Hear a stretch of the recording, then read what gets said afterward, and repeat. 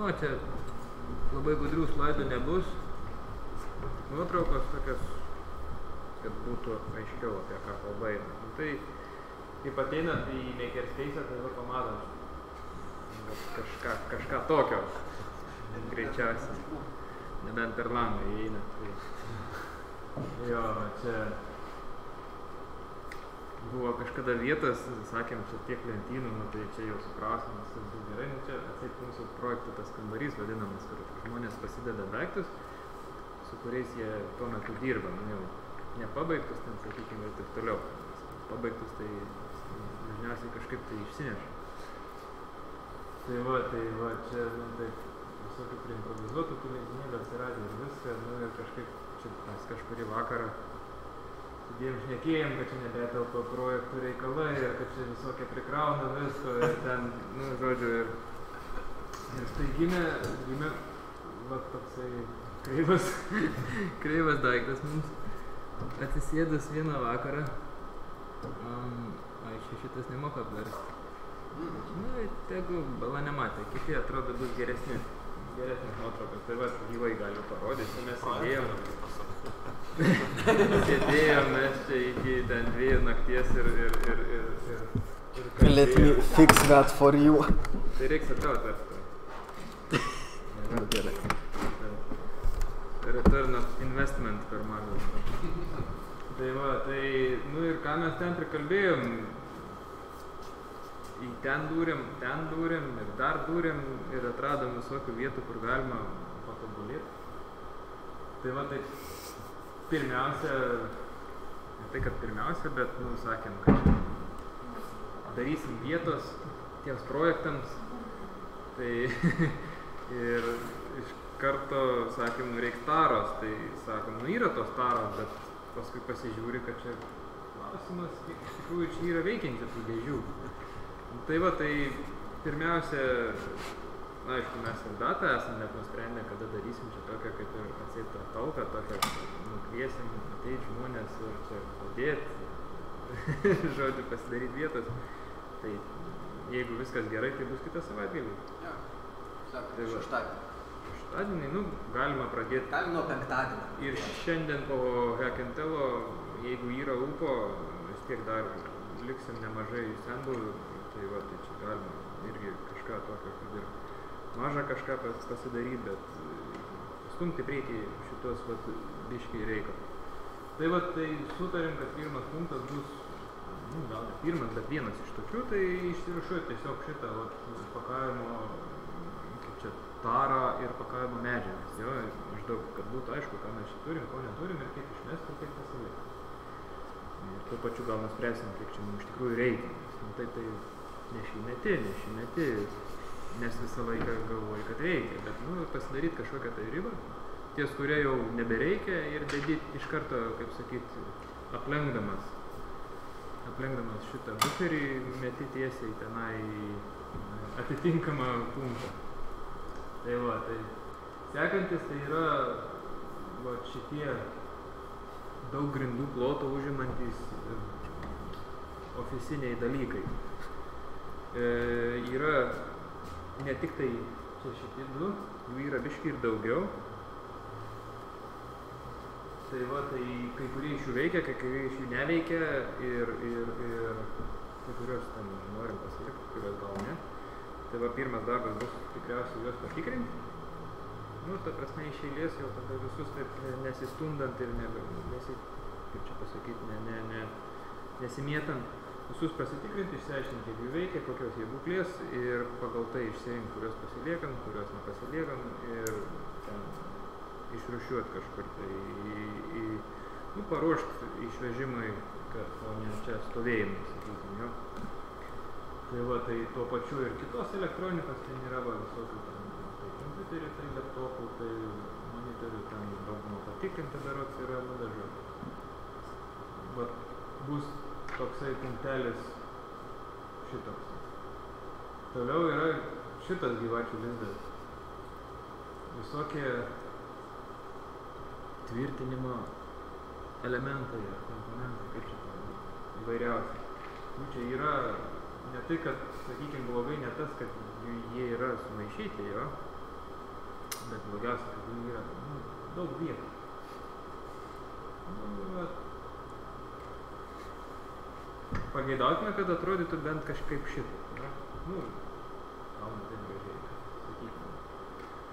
Padirbėsim tą linkmę, gal reikės biškai pabrainstormint, kaip tą išpildyti, nes jų yra daug daugiau negu kad čia sutilps.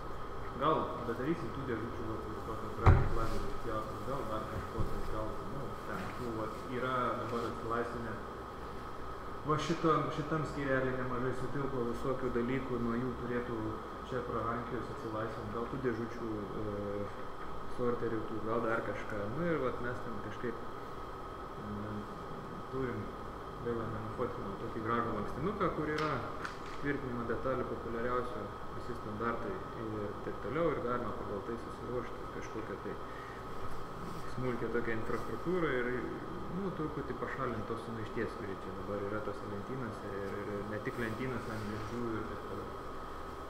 Tai va, tai nu ką, dabar nu, kažkokį padarysim filialą šito reikalo. Tai patį populiariausią, mažiau populiarus pasidėsim kažkur tai truputį toliau pasiekti.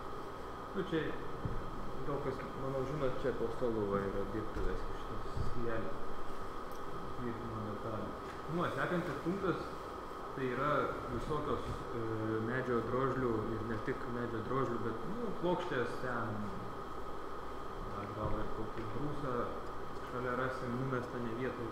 Nu. Tai va šitas persižiūrėt, dalis nusės šičia, sakykime, tai toks kaip ir buferis išvežimai ir ten kas nori gali pasimti sudeginimai, kas nori galbūt dar suvartos kažkur, bet dažniausiai jeigu čia nesusivartoja, tai jau tada niekam nereikia. Dėja. Va, dar yra kitas filialas šitą reikalą, tai kažkaip truputį pasisteminti ir, ir, ir sumažinti sumaišties, nes, sakykime, žmogus atėjęs į vieną, pasižiūri, ai neranda, nu, nusiperka, paskui atjauna gabaliuką, likusius du kvadratus paukštį lentyną, Kas iš principo nėra labai blogai. Nu, bet aš kiek susidūręs su infrastruktūriniais dalykais, visokiais tokiais tom tvarkom, paprastai tie likučiai linkę yra labiau kauptis negu susinaudoti. Ypač va tokiuose vietose, kur žmonės e, nėra gerai susipažinę su vieta. Kitas ateina į pusę metų kartą. Nu tai va, tai pabandysim kažkaip pamažinti galbūt, galbūt tų filialų, kuriuose gali kažkas tai būti tos, tos plokštės. O ši čia geras labai skirelis, tik tai, kad jis dabar apšlėkštas toksai, tai mes jį vardiškai sutvarkysim. Tai va, tai čia toksai punktelis. Yra visokių, sakykime, pagal visokias kompetencijas galima. Nu, va, vienas toks labai rimtas darbas, tai reikės 5 metrų aukštyje lemputę pakeisti. Pamanyk, Ką tik užgeso. Jo, jo, Mes pasiruošėm iš anksto skaidrės, nes žinom, kad pertės. Jo, jos čia jau užgesinėja ne taip jau ir, ir, ir, ir, ir šviežiai, tai kokį jaučiu nuo pavasario, jau čia nirgų margo, nes dėvėtas buvo, jos ne pirmo gy- gy- gyvumo, ne, ne pirmos jaunystės, tai atsarginių lempučių yra, reikia tik tai sukaupti valios ir už- užlipti ir pakeisti.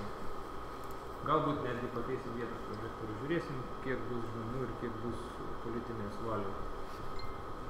Tai štai, Nu ir kadangi, sakėm, nu čia toks aišku, atbulinė tvarka, toks diskusija vyko, kad oi, nėra vietos, nebetelpa, nu tai ką daryti, tai reikia dauginti vietos, bet mes paskui tada dar reverse inžinierinam šitą problemą ir dar nusprendėm, kad reiktų apmažinti daiktų, kurių tikrai nereikia. Tai va, aš apie tai čia papasakojau. O šiaip mes iš pradžių buvom sugalvoję, kad davai lentynų visokių ten ir dar kažko. Nu tai va, dabar jau apie tas lentynas galima papasakoti, kad truputį e, arba lygiai grečiai jų galima daryti, arba išsniežus ten tą visą reikalėlį.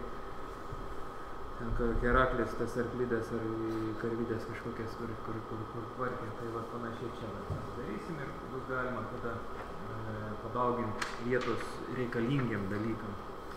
Tai va, tai sumažinėm, kad šį čia viršui, nu čia yra va, e, po dabar po šita vieta, po mumis esanti patalpa, ne, nu ten ta elektronika vadinkim, ar švarios patalpos, sakykim. E, tai padaryti lentyna ten viršui, didelė, kur, kur, kur sakykime, nebus, e, nu, jinai niekam netrukdo vaikščioti, nekliudo, nes aukštas didelis, tai va tenai sukeltume kažkokius truputį didesnius dalykus.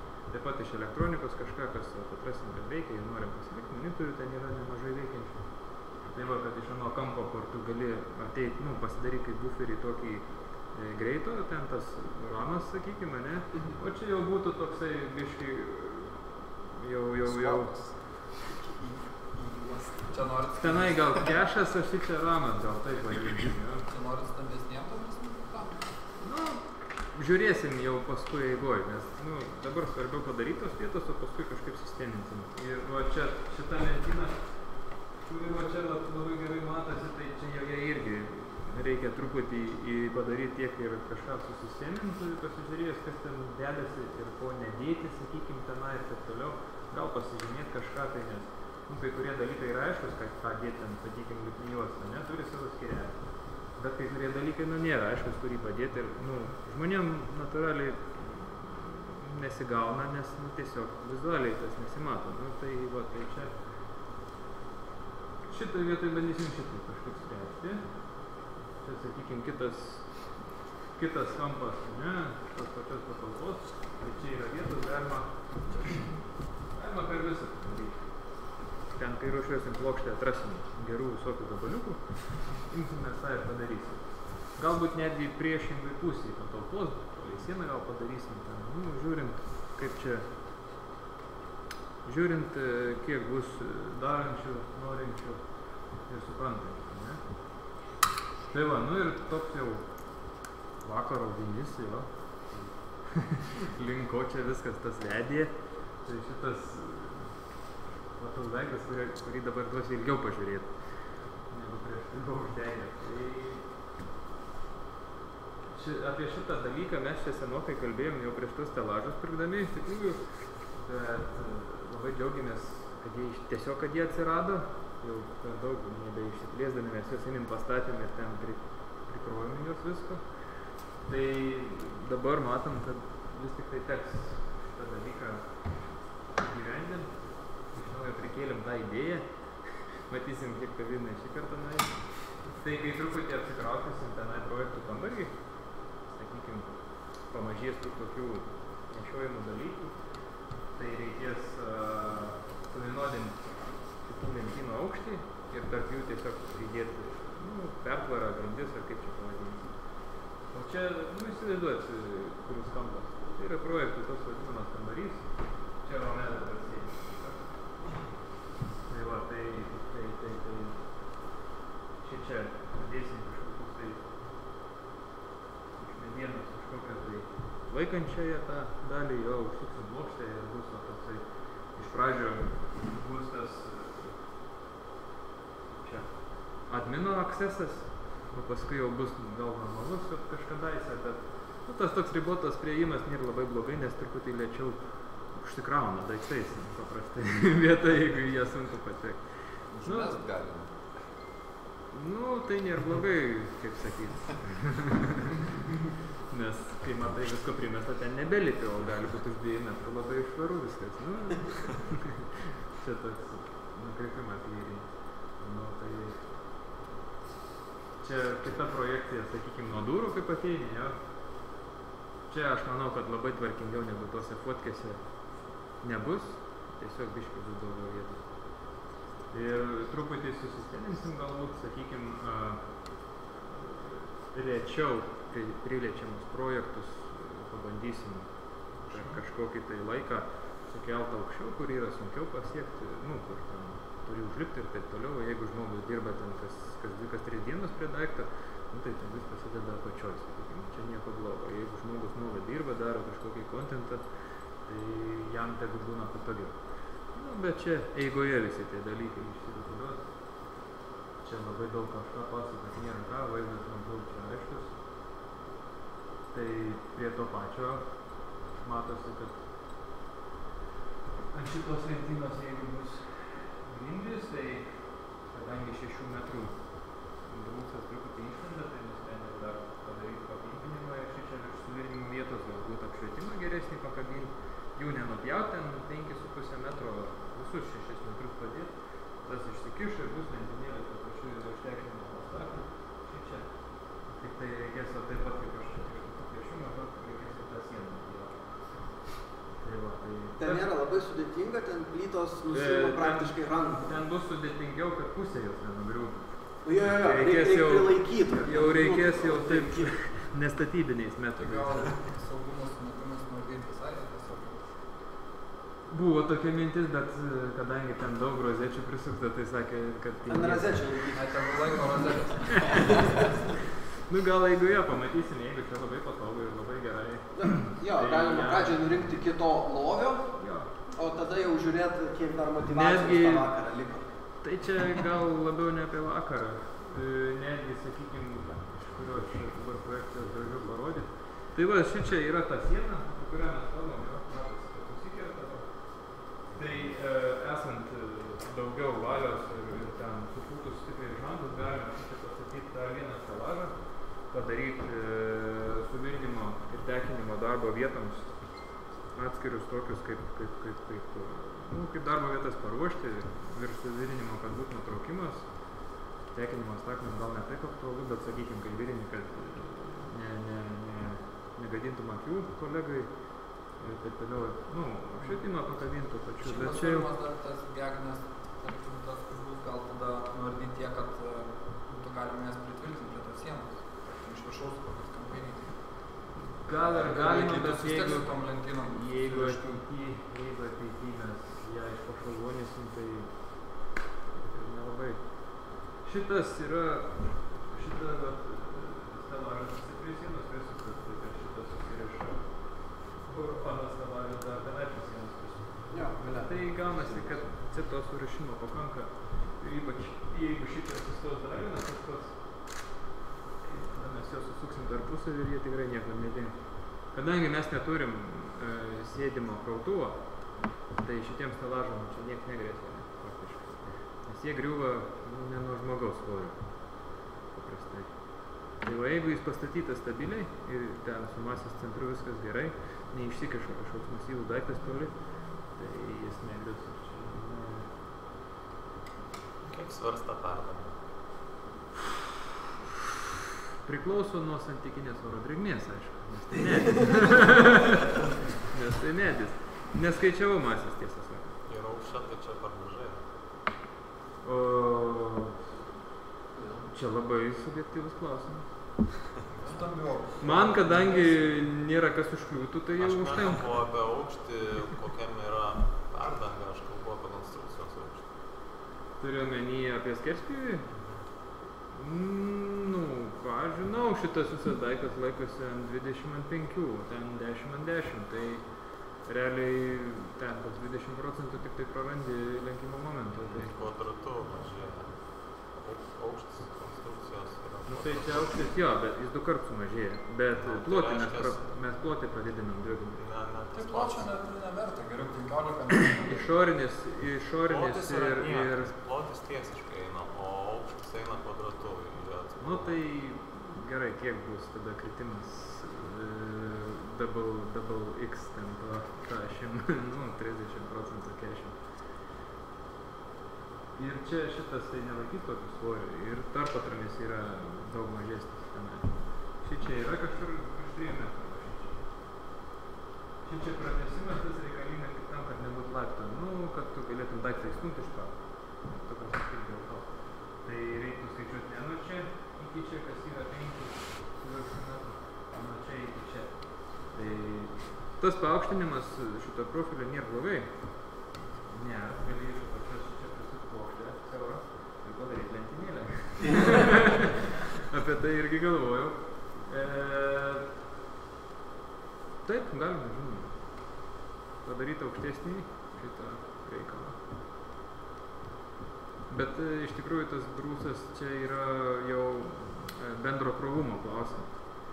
E, didesnės problemas vis tiek dažniausiai kyla su kontaktiniu dalyku. Kažką masyvaus numetė ir taip toliau. Tai čia plokštė turi būti storesnė. O tas brūsas tu įdėsi vis tiek į, nu jeigu plokštė 125, tai dėsi kas 60 cm grubiai. Paskui atsiras per vidurį improvizuota dar viena spinta. e, jo.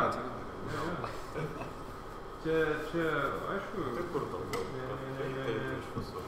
Bet tada reikia iš apačios kažką. Iš apačios lentyną ir dar viršų lentyną prie galinės tos jamos. Tai galima jo iš apačios padaryti, kad jie atsiremtų, tada iš viršaus. Arba, arba tada limituoti tą lentynos apsaugą. Nu, čia Tai jau. kad. Nebus ten vis tiek, žinai, kad ten tom kopėtėlėm žmonės labai daug tonų prineša. Bet yra, yra tokių prakutusių, yra tokių prakutusių, kurie žino, kad čia kranas veikia. Ja. Neskaito, neskaito, kad ten parašyta, kad neveikia. tai va, tai jie gali ir kažką daugiau kraut, bet nu, aš kažkaip netikiu, kad taip ims ir padės kažką, kas sulaužys ten, nes jie sujungti. Plokštę dėjau irgi išilgai, sakykime, kad jinai tą standumą truputį padidintų. Tai šis lentelės sudėjimo tai iš tos dėžės. Kad kas pakliūva. A, iš jo. Susimatalau jo ir. Visas. E, blogiausiu atveju galima metalinę juostą iš apačios pasukti, tas visai, visai padeda. Nes tu padidini pačio tolimiausio taško stiprumą, nu, tempimą. Ir iš karto Kartais ją tada taip, bet jeigu šiaip tada nieko. Nu, matai, deformuojasi sluoksniai apatiniai, jie bando temptis, o jeigu juosta laiko, jau jis bent jau nenulūš. Aišku, įlinkis ten bus kažkoks tai, bet, bet, čia, bet čia yra smulkmenos. Gali būti, kad pasakysim, kad per brangu ir nepirksim brūsų iš viso.